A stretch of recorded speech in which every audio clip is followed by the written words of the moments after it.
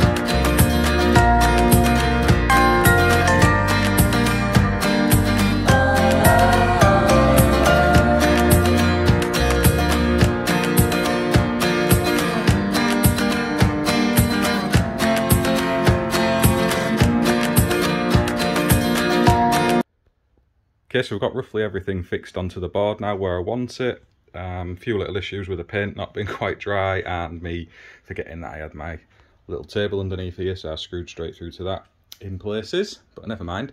Um, we're there now, and you'll see here we've got a, this is going to be for a, a socket ring, and we're going to have a USB socket on it as well, so we can put a bit of resistance through these cables. Next to it, we've got a little cooker circuit, and again, a little bit of resistance through the cables that I'll show you when we come to do the wire up.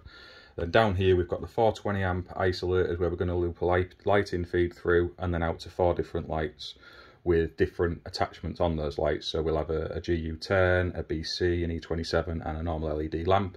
We've got a little earth block here and a, a phantom uh, bit of pipework that we can bond to.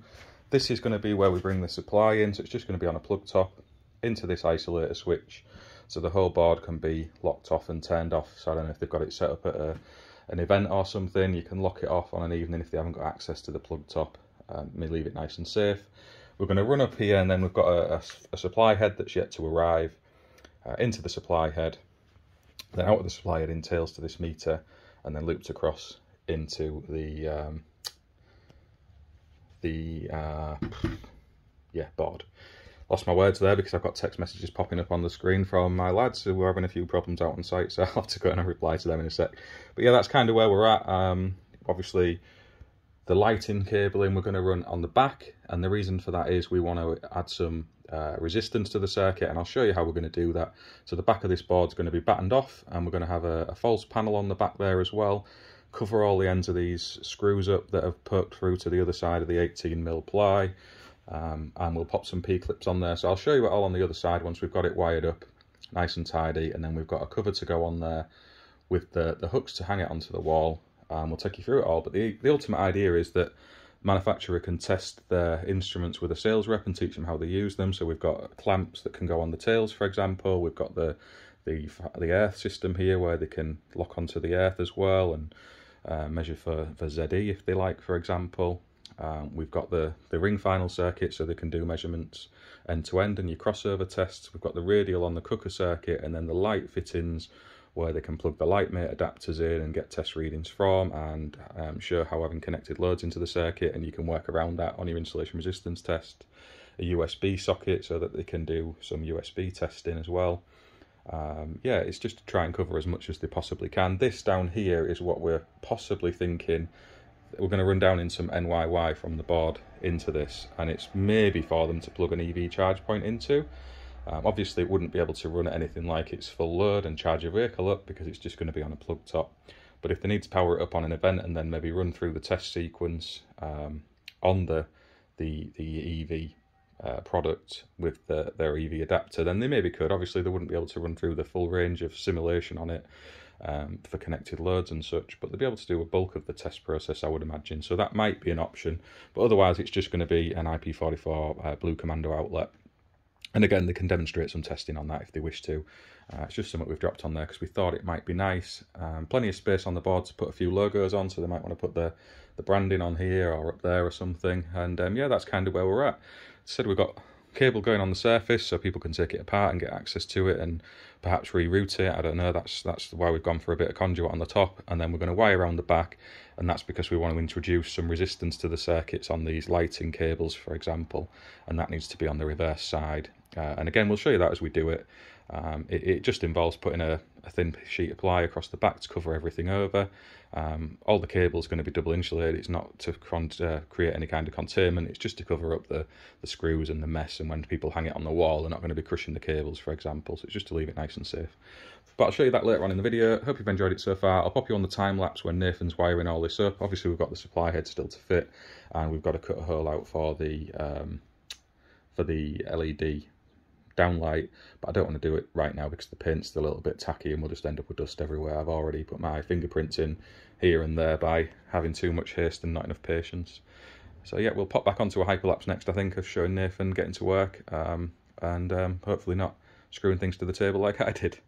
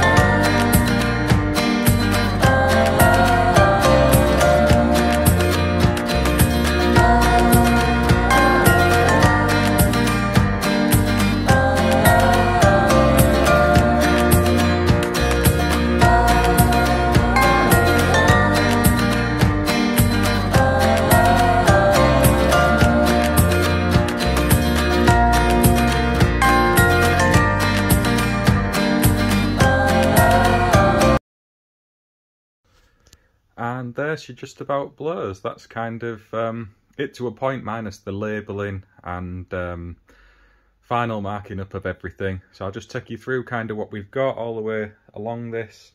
Um, so we've got the, the plug top here that, that powers it all up. This comes into this rotary isolator, so the reasoning for that was if this goes out to a trade show or something, it can be locked off and the plug top doesn't need to be interfered with. We've then kind of created this, I don't know, fake service head where we have the, it's an NYY cable coming in here. It just breaks out through this into the head. It was a way of keeping it all enclosed. The earth drops out the side. Obviously this can't be made into a specific earthing arrangement because we're just coming off a plug top, but you know, it's out there external. If somebody wanted to put a clamp meter on it and take a measurement or get some values off this earth bar, then they can. Uh, likewise, we come up into the meter. These tails have been purposely made a bit long and left loose, and that's so that clamp meters can be put around them. So this is the TIS clamp attachment that goes on the MFT Pro. Um, we've also got a little clamp meter just around the tails and the earth there as well. You know, I just thought that was a nice thing to be able to do on the test board. We've got the Crabtree board. This still needs labelling up and I need to get some more blanks in. You see we've got RCBOs there. We've basically got the um, EV charge point, the cooker circuit, a ring final circuit and lighting circuit. And again, we've gone for the breaker values that you would typically use on a job. But obviously, we're off the 13 amp plug top. So, you know, you're not going to get that kind of load out with this board. It was just to try and make it as real as possible. Uh, we then drop down into this commando plug. And again, you can put a test adapter in there and just get some normal measurements. Uh, but the thinking is that they might want to power possibly an EV charge point off that just to demonstrate at a trade show. Um, so obviously it's not going to end up charging a vehicle because, again, plug top. But yeah, we come down through this socket ring here so you can get different measurements of resistance on your R1, R2s. You can do some IR testing. Um, you can take your loop impedance measurements and your RCD trip testing. And showing here with the TIS plug um, in there and then just the voltage indicators into there as well. This is all dead at the minute. We've then got the TIS polarity checker, so you can use that on the cooker circuit if you like. Uh, there's all the Lightmate adapters. I'm still waiting for the, the B15 adapter to come for this. So I don't have that to plug in at the moment. It's going to be here before, that's it, before it gets um, shipped off. So I don't know if I've mentioned already, but this is for TIS. They're going to use it in their training room. So it was to try and get as much of their products that can work on this board as possible. So we've got the lighting circuit and all the cables for this are on the back. So we've used varying cable types in this. We've got singles, NYY, twin and earth. Um, it was just to try and give an installer or somebody who's in sales and might be looking at the way the products work a bit of experience and insight of all the different types of cabling and such that you might come across. We've then got the 20 amp isolators. So the lighting circuit basically loops through all of these, but then feeds off into the lamps themselves individually. So you can test these um, one at a time or you can do them as a whole circuit depending on what you want to do. And again, you can use the Lightmates to um, get a value of your R1, R2s or your ZSs. And I've demonstrated this on some of my other videos as well, where you can do that safely without having to uh, be in contact with any live parts. Obviously, you can have this in place and then you just need to clip onto the earth um, and step back and do your work. And again, you can do that through the process of locking on and off each time to ensure you're safe. So the argument of live testing doesn't wash with me. You can do most of it very safely. It's just um, a lack of convenience that stops people from doing it, and that's no real excuse. Up here, we've got a little whiteboard that's still just um, drying on there, so I'm not going to fiddle around with that too much. But the thinking with that is that you can kind of be maybe taking some measurements off these circuits and you just want to make a quick note of what value you've recorded or a certain sequence of tests you need to be um, recording. You know, I thought it'd be a nice little feature to have on there. A little space at the bottom for them to put some branding on if they wish. Um, yeah, and that's kind of it. I need to get it all back onto the workbench now. I'm going to give it a final coat of the red paint because we've scuffed it up a bit in trying to get some of these accessories on. So it needs a little bit of a tidy up and then we're going to give it another coat of lacquer on top just to try and seal everything and make it as robust as possible. Um, on the back we've just got a bit of flex cable running between some of this bits and bobs over on that side. Everything else is on the front. Um, yeah, so I thought that covers a nice little bit of a test board really. You can have a, uh, a good probe around on there and mess about with varying different bits of equipment, uh, all quite safely. And again, you know, it's it's imperative that you have that safety on boards like this when it's perhaps sales reps who are going to be looking at products who maybe aren't electricians So you're factoring that into the design itself, um, trying to make it as safe and user-friendly as possible.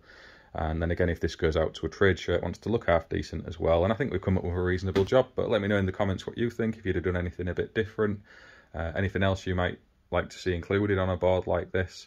And uh, let me know. Otherwise, thank you very much for watching, and I will catch you all on the next video. So this is sort of it now. We've got the, the board all labelled up. So we've got the main uh, test board isolator here, and you'll see it switched on now. It just goes off to a plug top. Come through the service head, which we've labelled up, and the meter. Still need to get the right blanks in this board, but we've got a, a test date on there and all the required labels. You can see we've labelled up the, the spare ways and what each individual RCBO does. Um, get those blanks in soon. And you can see we've got the socket circuit on.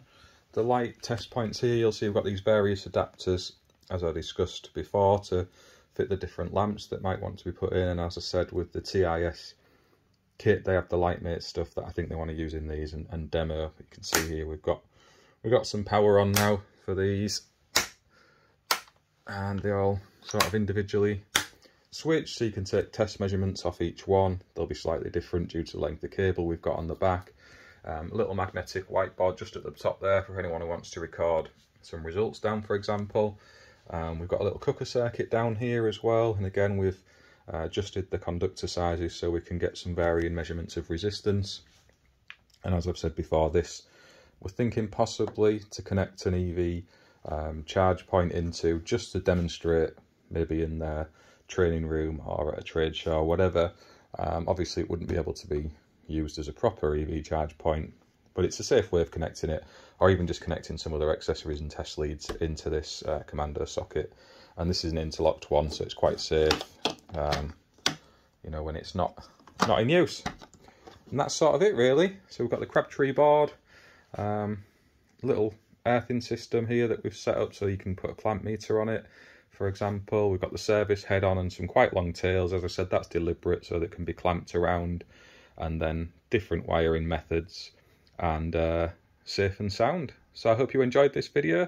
Please like and subscribe to the channel. Any comments, drop them in below and I will catch you all on the next one.